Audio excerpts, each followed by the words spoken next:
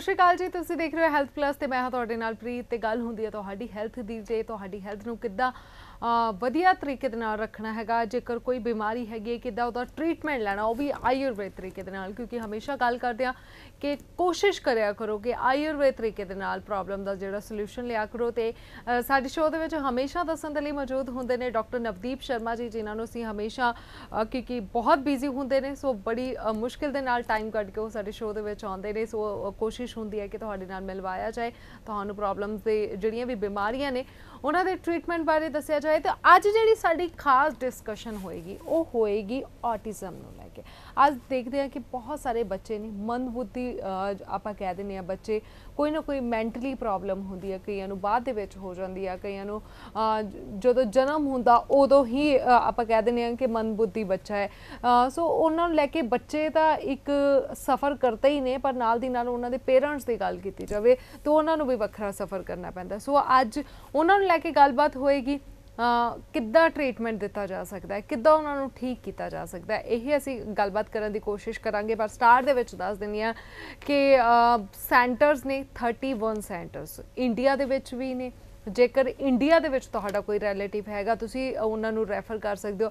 ਬਾਕੀ U S A ਦੇ ਵਿਅਰਸ ਦੇਖ ਰਹੇ ਨੇ। ਯੂ ਐਸ ਏ ਦੇ ਵਿੱਚ California New York Arizona Florida Seattle ਹਰ ਅਲੱਗ-ਅਲੱਗ ਜਗ੍ਹਾ ਤੇ ਸੈਂਟਰਸ ਨੇ ਉੱਥੇ ਵਿਜ਼ਿਟ ਕਰ ਸਕਦੇ ਹੋ। ਬਾਕੀ ਜੇਕਰ ਸੈਂਟਰਸ ਦੇ ਵਿੱਚ ਪਹੁੰਚ ਨਹੀਂ ਸਕਦੇ, ਤੇ ਨੰਬਰ ਲਗਾਤਾਰ ਟੀਵੀ ਸਕਰੀਨ ਤੇ ਫਲੈਸ਼ ਹੋ ਰਹੇ ਨੇ। ਹੈਲਪਲਾਈਨ ਨੰਬਰ ਨੇ ਇਹਨਾਂ ਨੰਬਰ ਤੇ ਕਾਲ ਕਰੋ, ਆਪਣੀ ਪ੍ਰੋਬਲਮ ਡਿਸਕਸ ਕਰੋ। ਘਰ ਬੈਠੇ ਵੀ ਤੁਹਾਨੂੰ ਦਵਾਈ ਪ੍ਰੋਵਾਈਡ ਕਰਵਾ ਦਿੱਤੀ ਜਾਏਗੀ।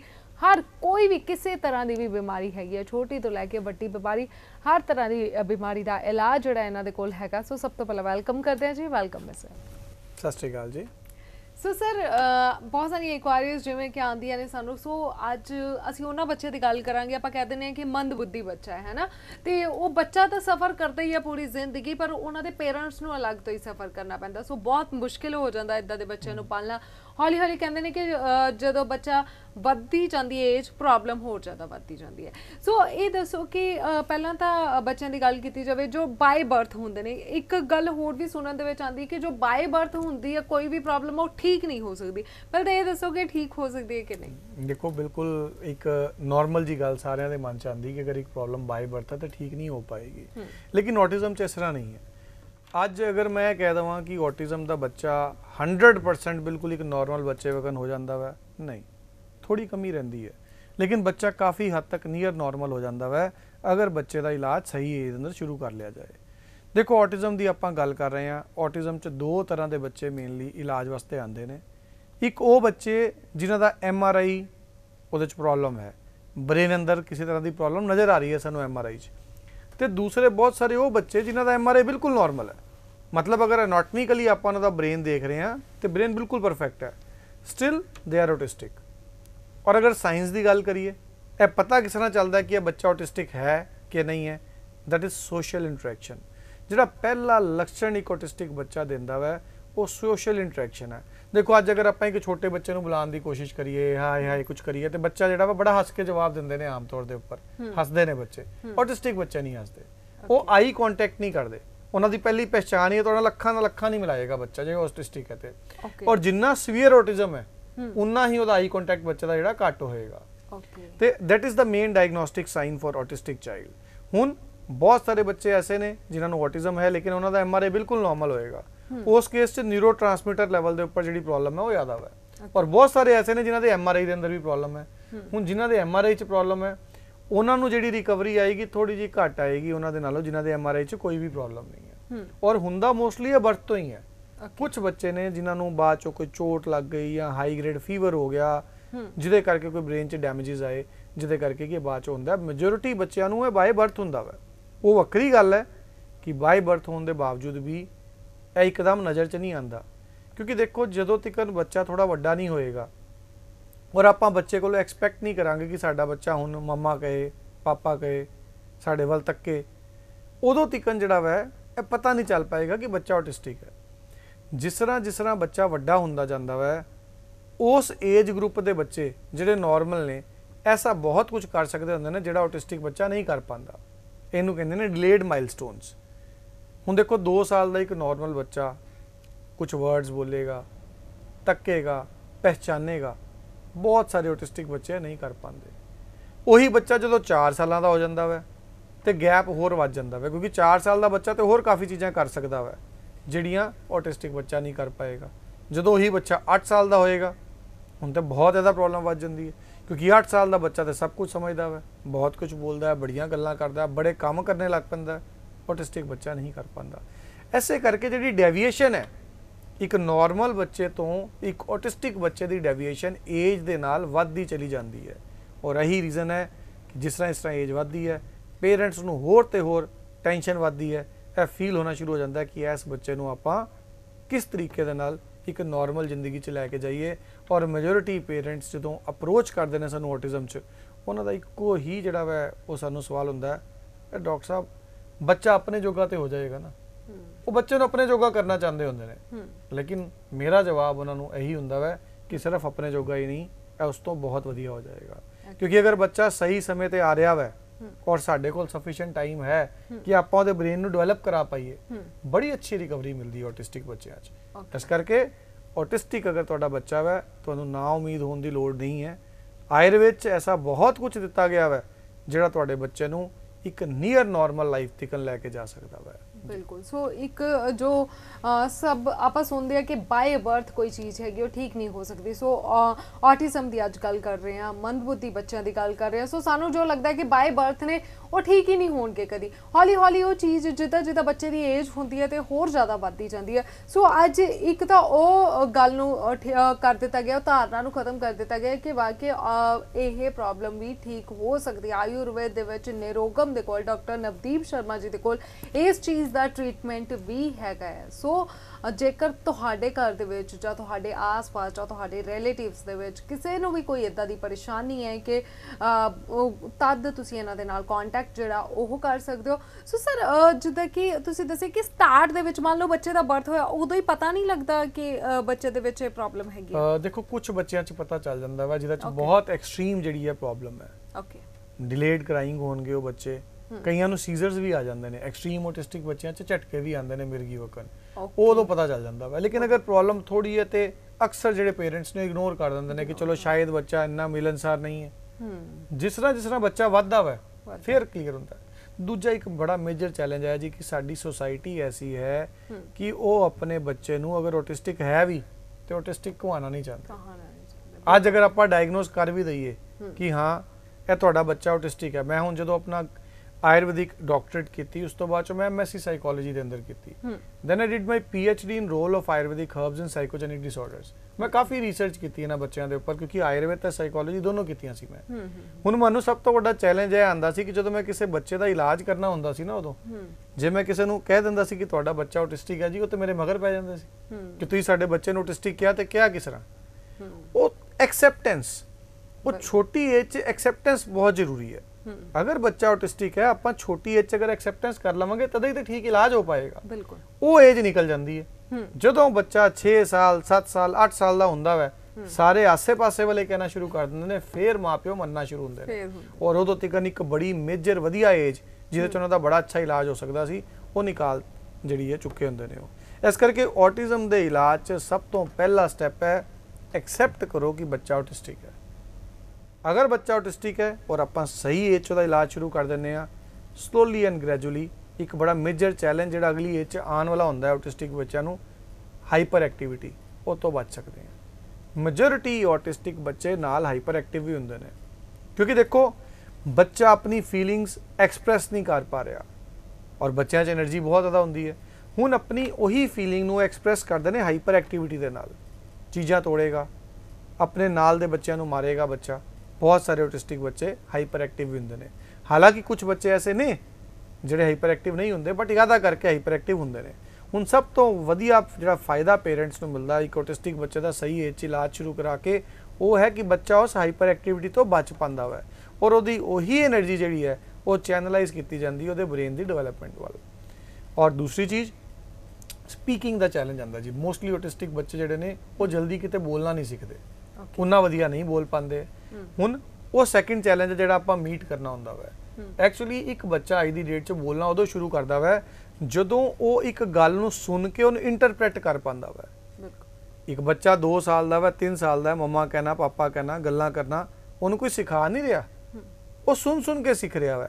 ਇਹਨੂੰ ਕਹਿੰਦੇ ਨੇ ਰਿਫਲੈਕਸਸ ਉਹ ਸੁਣਦਾ ਵਾ ਉਸ ਸੁਣਨ ਦੀ ਰਿਫਲੈਕਸ ਦੇ ਨਾਲ ਉਹਦਾ ਬ੍ਰੇਨ ਉਹ ਇੰਟਰਪ੍ਰੀਟ ਕਰਦਾ ਤੇ ਉਹ ਬੋਲਣਾ ਸਿੱਖਦਾ ਵਾ। ਅਗਰ ਛੋਟੀ ਏਜ 'ਚ ਬੱਚਾ ਆਟਿਸਟਿਕ ਹੈ ਤੇ ਆਪਾਂ ਉਹਦੀ ਉਸ ਏਜ 'ਚ ਪ੍ਰੋਪਰ ਟ੍ਰੀਟਮੈਂਟ ਨਾ ਕਰਾਈ, ਉਹਦੇ ਨਾਲ ਸਭ ਤੋਂ ਵੱਡਾ ਨੁਕਸਾਨ ਇਹ ਹੁੰਦਾ ਵਾ ਕਿ ਉਹਦੀ ਜਿਹੜੀ ਉਹ ਆਡਿਟਰੀ ਰਿਫਲੈਕਸ ਹੈ, ਉਹਦੀ ਏਜ ਹੀ ਖਤਮ ਕਰ ਲੈਂਦੇ ਹਾਂ ਆਪਾਂ, ਕਿਉਂਕਿ ਉਹੀ ਬੱਚਾ ਜਦੋਂ 6 ਸਾਲ ਜਾਂ 7 ਸਾਲ ਦਾ ਹੋ ਜਾਏਗਾ, ਫਿਰ ਉਹ ਰਿਫਲੈਕਸ ਨਹੀਂ ਰਹੇਗੀ, ਫਿਰ ਉਹ ਸੁਣਨ ਦੇ ਨਾਲ ਨਹੀਂ ਸਿੱਖ ਸਕਦਾ। ਇਸ ਕਰਕੇ ਉਹ ਛੋਟੀ ਏਜ 'ਚ ਹੀ ਸਿਖਾਉਣਾ ਪੈਂਦਾ ਹੈ। ਐਸੇ ਕਰਕੇ ਆਪਾਂ ਜਦੋਂ ਆਟਿਸਟਿਕ ਬੱਚਿਆਂ ਦਾ ਇਲਾਜ ਕਰਦੇ ਹਾਂ, ਉਹਨਾਂ ਨੂੰ ਨਾਲ ਹੀ ਗਾਈਡ ਕਰਦੇ ਹਾਂ ਕਿ ਤੁਸੀਂ ਛੋਟੀ ਏਜ 'ਚ ਬੱਚੇ ਨਾਲ ਸਪੀਚ ਥੈਰੇਪੀ ਵੀ ਕਰਵਾ ਲਓ, ਤਾਂ ਕਿ ਤੁਹਾਡਾ ਬੱਚਾ ਬੋਲ ਸਕੇ। ਔਰ ਸਭ ਤੋਂ ਖੁਸ਼ੀ ਦੀ ਗੱਲ ਇਹ ਹੁੰਦੀ ਹੈ ਕਿ ਆਟਿਸਟਿਕ ਬੱਚਿਆਂ ਨੂੰ ਜਦੋਂ ਆਪਾਂ ਟ੍ਰੀਟਮੈਂਟ ਦਿੰਨੇ ਆ ਉਹ ਬੋਲਣਾ ਬਹੁਤ ਜਲਦੀ ਸ਼ੁਰੂ ਕਰ ਦਿੰਦੇ ਨੇ। ਔਰ ਇੱਕ ਪੇਰੈਂਟਸ ਨੂੰ ਹੌਸਲਾ ਆ ਜਾਂਦਾ ਕਿ ਹਾਂਜੀ, ਬੱਚਾ ਬੋਲਣਾ ਸ਼ੁਰੂ ਹੋ ਗਿਆ, ਉਹਨੇ ਅੱਗੇ ਬਾਕੀ ਚੀਜ਼ਾਂ ਵੀ ਕਰੇਗਾ। ਸਟੈਪ ਬਾय ਸਟੈਪ ਜਿਹੜਾ ਬੱਚਾ ਵਾ, ਉਹਦੇ ਜਿਹੜੇ ਮਾਈਲਸਟੋਨਸ ਨੇ, ਉਹ ਅਚੀਵ ਕਰਦਾ ਚਲਾ ਜਾਂਦਾ। ਹੈ ਨੋ ਡਾਊਟ ਇੱਕ ਨਾਰਮਲ ਬੱਚੇ ਤੋਂ ਉਹ ਡਿਲੇਡ ਹੁੰਦੇ ਨੇ ਮਾਈਲਸਟੋਨਸ ਲੇਕਿਨ ਆਪਾਂ ਕਾਫੀ ਮਾਈਲਸਟੋਨਸ ਅਚੀਵ ਕਰ ਲੈਂਦੇ ਕਰਾ ਲੈਂਦੇ ਹਾਂ। ਤੁਸੀਂ ਇਹ ਦੇਖੋ, ਜਿਹੜੇ ਬੱਚਿਆਂ ਨੂੰ ਮੈਂ ਆਪਣੇ ਕੈਰੀਅਰ ਦੇ ਸਟਾਰਟਿੰਗ 'ਚ ਜਿਹੜਾ ਵਾ ਟ੍ਰੀਟਮੈਂਟ ਦਿੱਤਾ ਸੀ ਅੱਜ ਉਹਨਾਂ 'ਚੋਂ ਕੋਈ 12ਵੀਂ ਪਾਸ ਕਰ ਚੁੱਕੇ ਨੇ ਕੁਝ ਗ੍ਰੈਜੂਏਸ਼ਨ ਕਰ ਰਹੇ ਨੇ। ਅੱਛਾ ਲੱਗਦਾ ਉਹਨਾਂ ਨੂੰ ਮਿਲ ਕੇ ਕਿਉਂਕਿ ਉਹਦੇ ਪੇਰੈਂਟਸ ਨੇ ਵੀ ਐਕਸਪੈਕਟ ਨਹੀਂ ਕਦੀ ਕੀਤਾ ਸੀ ਕਿ ਸਾਡਾ ਬੱਚਾ ਪੜ੍ਹੇਗਾ ਵੀ। ਤੇ ਐਸੇ ਬੱਚੇ ਵੀ ਨੇ ਜਿਹੜੇ ਅੱਜ ਪੜ੍ਹ ਵੀ ਪਾਏ ਨੇ। ਮੈਂ ਨਹੀਂ ਕਹਾਂਗਾ ਬਹੁਤ ਇੰਟੈਲੀਜੈਂਟ ਹੋ ਗਏ ਨੇ ਉਹ। ਕਲਾਸ 'ਚ ਫਸਟ ਆਉਂਦੇ ਨੇ। ਠੀਕ ਹੈ ਘੱਟ ਨੰਬਰਾਂ ਨਾਲ ਹੀ ਪਾਸ ਹੁੰਦੇ ਨੇ ਵਿਚਾਰੇ। ਲੇਕਿਨ ਜਿਹੜਾ ਵਾ ਵਧੀਆ ਜ਼ਿੰਦਗੀ ਜੀ ਰਿਹਾ ਜੀ। ਉਹਦਾ ਕਾਰਨ ਹੈ ਪੜ ਗਏ ਨੇ ਆਪਣੇ ਜੋਗੇ ਹੋ ਗਏ ਨੇ ਕੁਝ ਕਰ ਸਕਦੇ ਨੇ। ਜਿਹੜੇ ਉਨਾ ਵਧੀਆ ਗਰੋ ਨਹੀਂ ਕਰ ਪਾਉਂਦੇ ਜਿਹੜੇ ਕੁਝ ਬੱਚੇ ਐਸੇ ਨੇ ਜਿਹਨਾਂ 'ਚ ਬਹੁਤ ਸਵੀਅਰ ਆਟਿਜ਼ਮ ਸੀ। ਐਟ ਲੀਸਟ ਆ ਜੋ ਗੱਲਬਾਤ ਕਰ ਪਾ ਰਹੇ ਨੇ। ਕੁਝ ਕਲਾਸਿਸ ਪੜ ਗਏ ਨੇ ਪੜਨਾ ਲਿਖਣਾ ਸਿੱਖ ਗਏ ਨੇ ਆਪਣਾ ਕੁਝ ਨਾ ਕੁਝ ਕਰ ਸਕਦੇ ਨੇ। ਮਤਲਬ ਇਸ ਕਰਕੇ ਡਿਪੈਂਡਿੰਗ ਕਿ ਸਿਵੈਰਿਟੀ ਕਿੰਨੀ ਹੈ ਆਇਰ ਵਿੱਚ ਆਟਿਸਟਿਕ ਬੱਚਿਆਂ ਨੂੰ ਰਿਜ਼ਲਟਸ ਜ਼ਰੂਰ ਮਿਲਦੇ ਨੇ। ਮੈਂ ਤੇ ਪੇਰੈਂਟਸ ਨੂੰ ਇਹ ਵੀ ਕਹਿਣਾ ਹੁੰਦਾ ਵਾਂ ਕਿ ਤੁਸੀਂ ਇੱਕ ਕਾਪੀ ਲਾਓ ਉਸ ਕਾਪੀ ਤੇ 50 ਐਸੀਆਂ ਚੀਜ਼ਾਂ ਲਿਖ ਲਵੋ ਜਿਹੜੀਆਂ ਅੱਜ ਤੁਹਾਡਾ ਬੱਚਾ ਨਹੀਂ ਕਰ ਪਾ ਰਿਹਾ। ਤੁਸੀਂ ਦੇਖੋਗੇ ਹਰ 2 ਮਹੀਨਿਆਂ ਬਾਅਦ ਤੇ ਟਿਕ ਲੱਗਦੀ ਜਾਏਗੀ। ਬੱਚਾ ਉਹਨਾਂ ਜੋ ਚੀਜ਼ਾਂ ਕਰਦਾ ਚਲਾ ਜਾਏਗਾ ਔਰ ਇੰਪਰੂਵ ਕਰਦਾ ਚਲਾ ਜਾਏਗਾ ਜੀ ਤੇ ਆਯੁਰਵੇਦ ਦੇ ਵਿੱਚ ਤੁਹਾਡੇ ਵੱਲੋਂ ਟ੍ਰੀਟਮੈਂਟ ਕਿਹੜਾ ਦਿੱਤਾ ਜਾਂਦਾ ਫਿਰ ਬੱਚਿਆਂ ਨੂੰ ਦੇਖੋ ਆਯੁਰ ਵਿੱਚ ਨਾ ਮੇਧਯ ਰਸਾਇਣ ਹੈ ਆਯੁਰ ਵਿੱਚ ਆਚਾਰਯ ਚਰਕ ਨੇ ਕਿਹਾ ਮੇਧਯ ਰਸਾਇਣ ਦੇ ਬਾਰੇ ਚ ਮੰਡੂਕ ਪਰਨੀ ਸਰਸਾ ਪ੍ਰਯੋਜਿਆ क्षीरेन यष्टि मधुकस्य चूर्णम रसो गुड़ुच्यास्तु स म मूल फल पुष्प खलु शंख पुष्पया ਮਤਲਬ ਮੰਡੂਕ ਪਰਨੀ ਦਾ ਰਸ ਪੀਓ क्षीरेन यष्टि मधुकस्य ਚੂਰਨਮ ਮੁਲੱਠੀ ਨੂੰ ਦੁੱਧ ਦੇ ਨਾਲ ਦਿਓ। ਰਸੋ ਗੁੜੁਚਿਆਸਤੂ ਗਿਲੋਏ ਦਾ ਰਸ ਦਿਓ ਤੇ ਸ ਮੂਲ ਫਲ ਪੁਸ਼ਪ, ਖਲੂ ਸ਼ੰਖ ਪੁਸ਼ਪਿਆ। ਸ਼ੰਖ ਪੁਸ਼ਪੀ ਦਾ ਪੰਚਾਂਗ। ਇਹ ਮੇਦੇ ਰਸਾਇਣ ਹੈ। ਇਹਨਾਂ ਨੂੰ ਇਸਤੇਮਾਲ ਕਰਨ ਨਾਲ ਸਾਡੀ ਇੰਟੈਲੈਕਟ ਵਧਦੀ ਹੈ। ਆਪਾਂ ਇੱਕ ਤੇ ਇਹ ਮੇਦੇ ਰਸਾਇਣ ਨੂੰ ਨਾਰਮਲ ਫਾਈਟੋਕੈਮੀਕਲ ਟੈਕਨੀਕ ਦੇ ਨਾਲ ਐਕਸਟ੍ਰੈਕਟਸ ਦੇ ਰਾਹੀਂ ਆਪਣੀ ਦਵਾਈਆਂ ਦੇ ਵਿੱਚ ਜਿਹੜਾ ਵਾ ਐਡ ਕੀਤਾ ਵਾ।